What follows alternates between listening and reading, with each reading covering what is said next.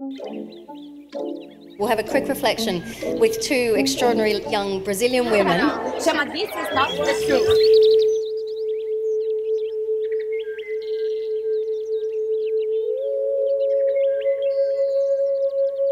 We are talking about contradictions and staying with the trouble. We are in the midst of a profound change of paradigms. Why do we keep on going in a non sustainable direction? We're deeply embedded in a planet which is actually our own body. The ideas you're experiencing have been framed, and maybe you don't agree with that frame. So, a new paradigm is a heart paradigm. This requires a completely different engagement with the world, and the world we understand is one of collaboration. Perhaps it's time to enter some sort of decolonial time zone. Yeah.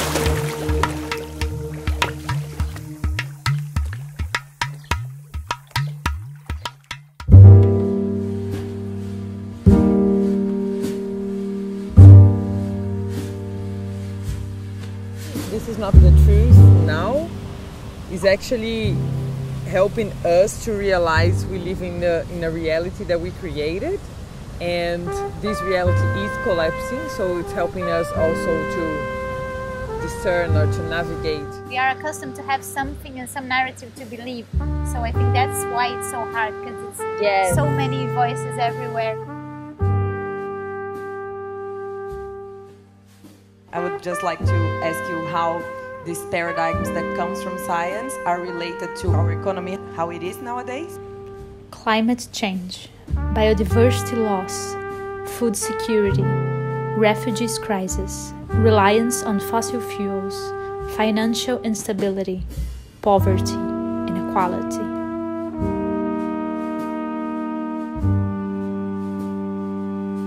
I'm really excited to be here. I think this is one of the most exciting gatherings uh, of the year.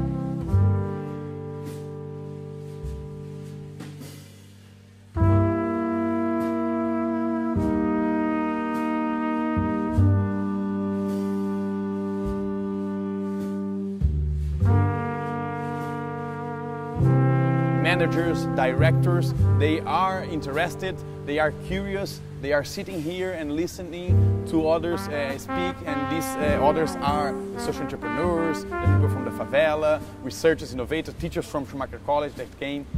So Holos is a part of ColaborAmerica that brings into the festival the humane approach to systemic change. So a lot of holistic activities happen there, ceremonies, workshops, I wanted to create a space where people from the material world, the entrepreneurs came together with the people from the spiritual world, therapists, witches, and we created a new DNA. That, yeah. for me, this is all yeah. innovation. A poet and scientist called Goethe, who said that you could not understand things from within the system themselves. It's not as simple as boiling things down till you get a mathematical truth. You have rather to look at the system, to look at all its relationships, to look at all its parts and how they're interacting. And then you have to make a leap in a way through your heart and your seeing to understand what is the greater ground that gives that plant that living identity.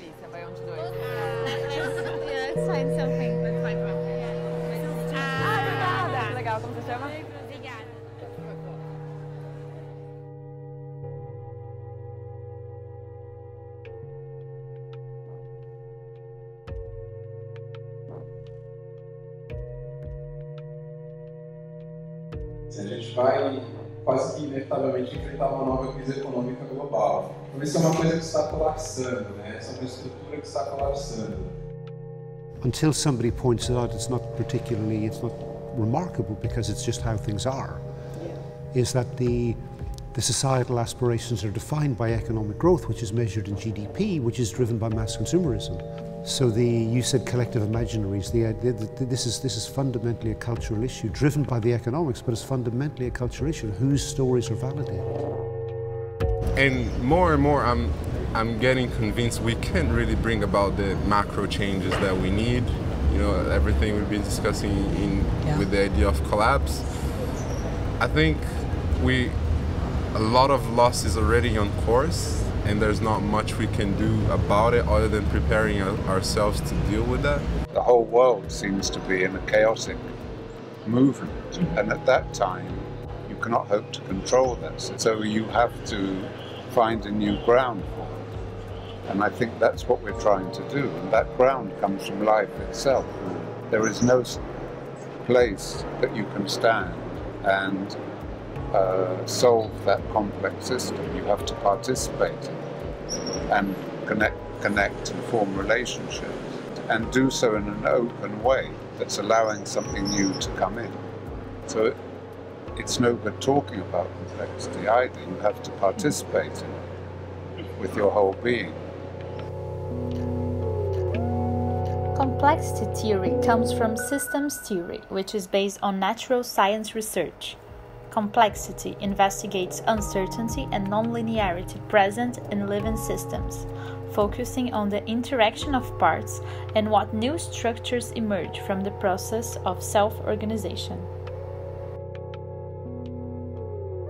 In the end, we are all uh, sharing a same home, which is Gaia, our Earth. And this home has uh, limited resources, and we know uh, that if we go this way, we are we're going to have a, a proper civilization there is companies, there is initiatives, there is projects uh, that are happening with this new DNA, this purposeful DNA to understand what are the challenges nowadays and to bring about innovation to add value to society.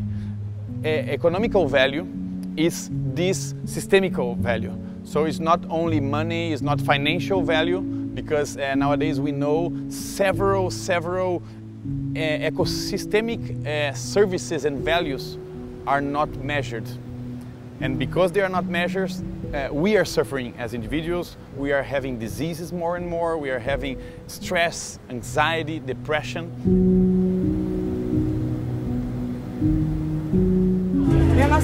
Vez no festival e a gente está bem feliz porque o nosso projeto ele é todo trabalhado na divulgação da ancestralidade do povo africano. Nossa premissa maior, porque nós somos conectados à natureza.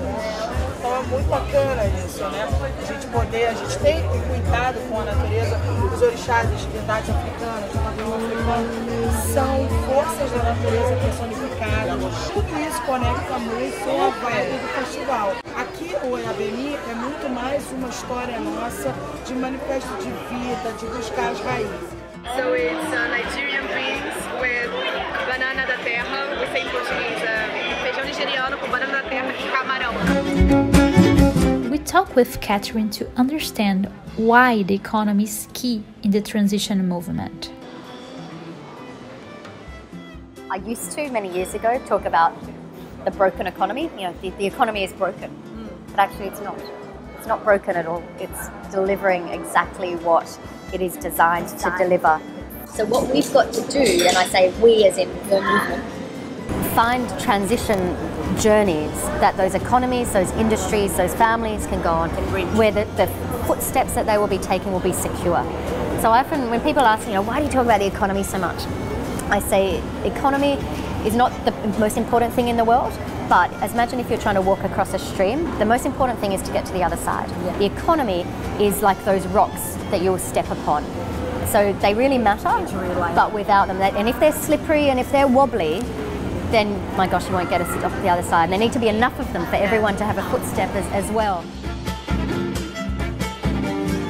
Need a whole lot of different sorts of skill sets, people, different spheres of influence, people really at the grassroots yes. demonstrating what this looks like.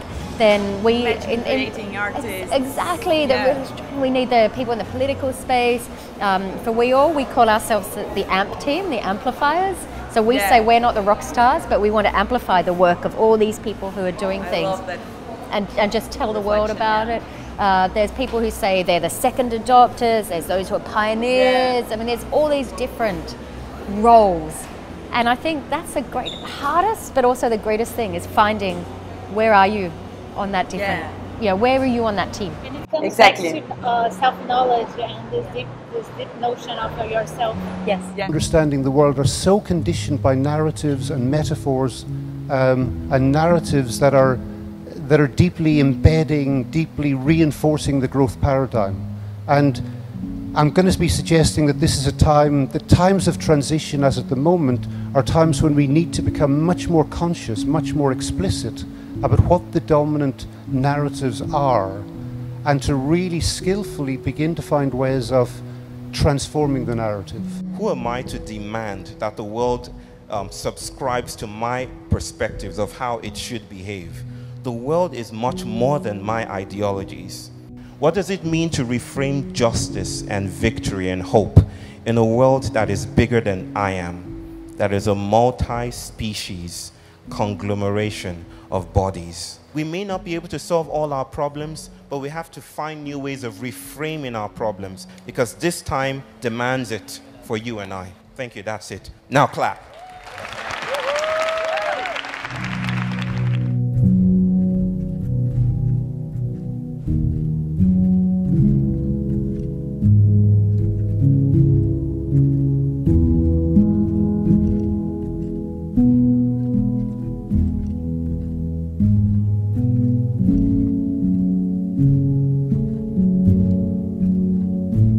Thank